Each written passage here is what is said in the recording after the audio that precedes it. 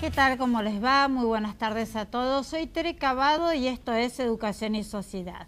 Bueno, hoy estoy con, puedo decir, un amigo de la casa, ya todo el público te conoce, Edgardo. Bueno, primero mis sinceras felicitaciones porque dentro de muy poquitos meses asumís como el nuevo rector de UCEMA. Tal cual, gracias. Bueno, me siento como en casa, realmente gracias. Qué bueno, o sea, un desafío interesantísimo. Un desafío realmente. Un desafío fascinante. Y después, bueno, yo vamos a hablar primero como miembro de la Academia Nacional de Educación y después sí vamos a hablar un cachito puedo decir de tu universidad prácticamente.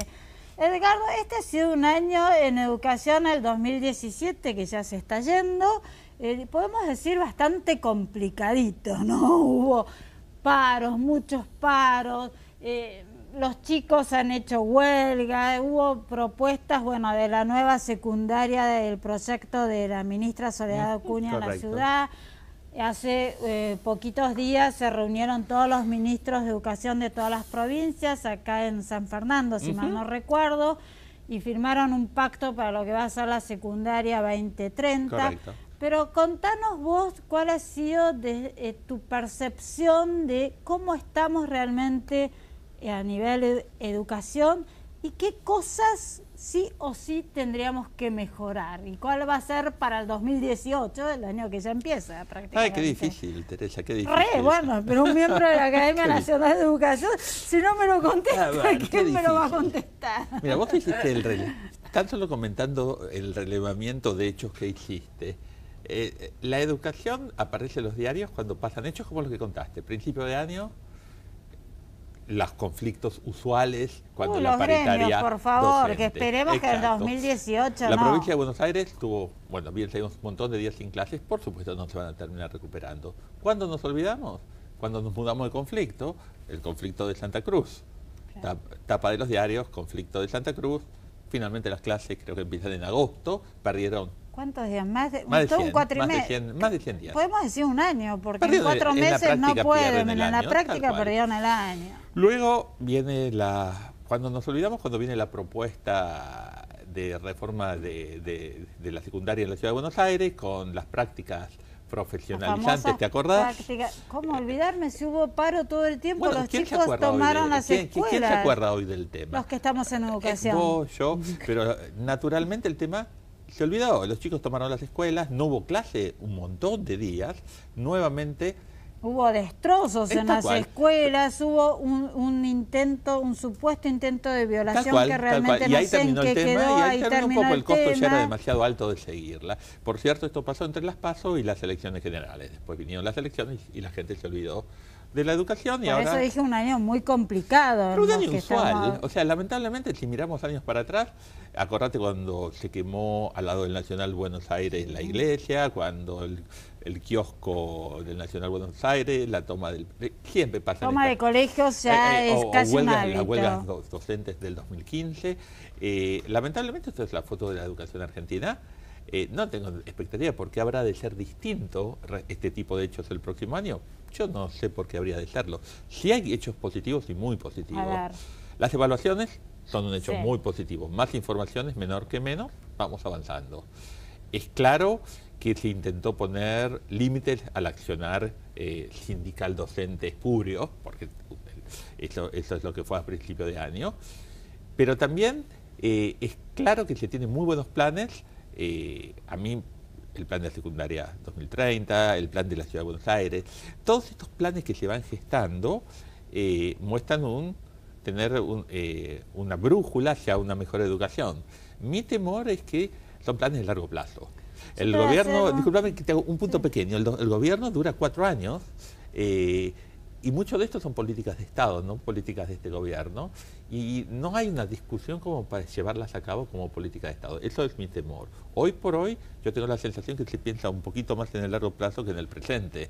Y tenemos problemas en el presente como el informe de la UCA Pero del lo que te iba a decir, a ver, ¿cómo se puede resolver el tema de la educación cuando, eh, según el informe de la UCA, que eh, me parece sumamente serio y confiable, y que creo que vos coincidís en eso, la mitad de los chicos de 14 años están en situación de pobreza. Es muy difícil que un chico que está en situación de pobreza pueda aprender bien. Edgardo, eso, eso es 2 más 2 son 4. Es, imposible. O sea, si no resuelven eso, que claramente no les va a llevar los dos años que quedan, sino, como vos bien decís, bastante más tiempo, no se puede resolver el problema de nuestra educación. La, la, educación no es un compartimento estanco, es imposible. Si vamos, a, vamos al caso más extremo de ya no pobreza, sino pobreza e indigencia, eh, en los primeros años de vida de los chicos, bien sabemos con los trabajos del doctor Albino, este, que esos chicos no van de aprender no es imposible, es muy costoso, es muy difícil educar a un chico que no se alimentó en sus primeros años de vida. Interrumpo. Eh, contar a la gente quién es el doctor Abel Albino, que eh, es, compañero tuyo en la Academia Nacional de Educación, y, lo, y concretamente lo que él dice, porque no todo el público... Ok, me parece válido. sí, en realidad tienes toda la razón. Me, es un tema tan común que a veces uno cuando se está exponiendo...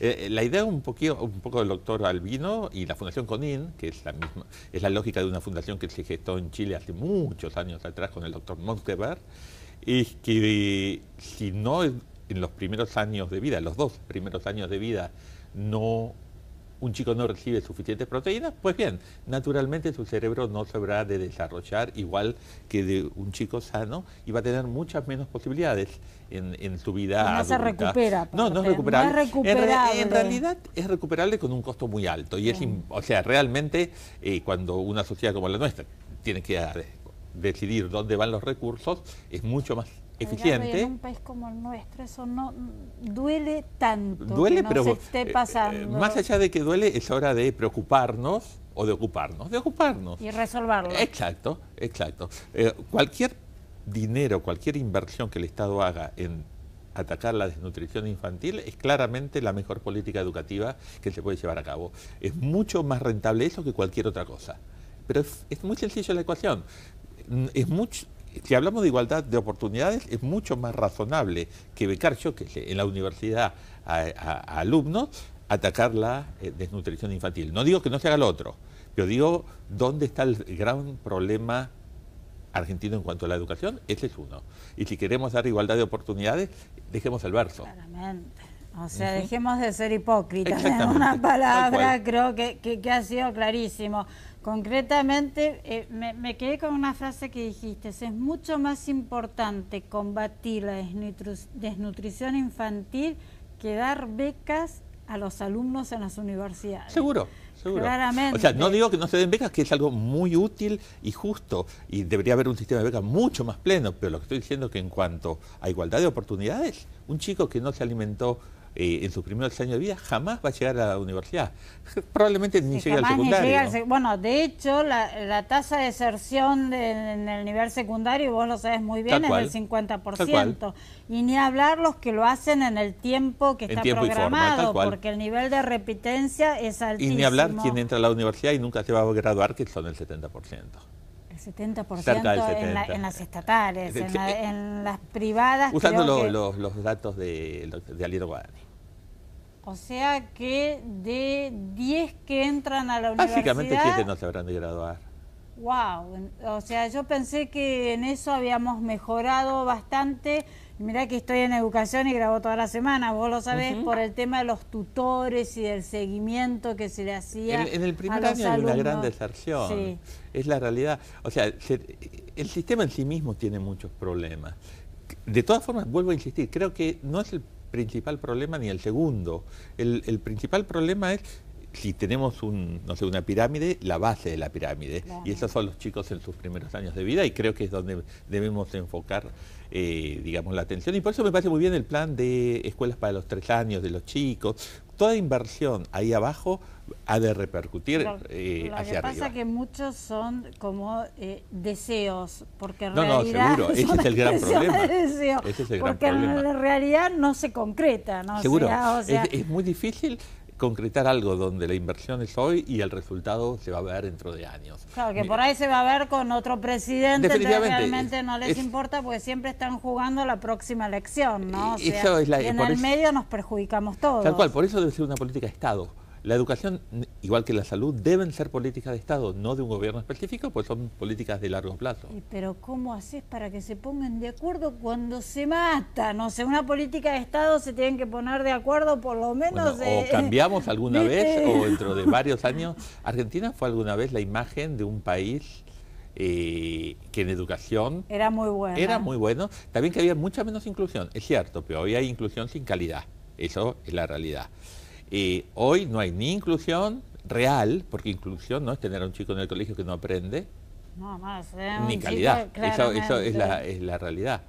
Edgardo, nos queda un minuto de tiempo, te llevo a tu universidad. Sí, a mi casa. A tu casa. Bueno, ¿cómo se ingresa a la, universidad, a la Universidad del SEMA? ¿Hay un curso de ingreso, hay un examen de ingreso? ¿Es tan difícil como dicen? No, definitivamente no.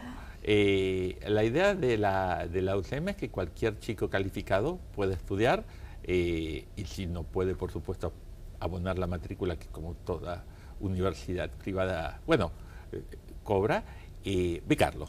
No, o sea, cualquier chico calificado debe poder estudiar.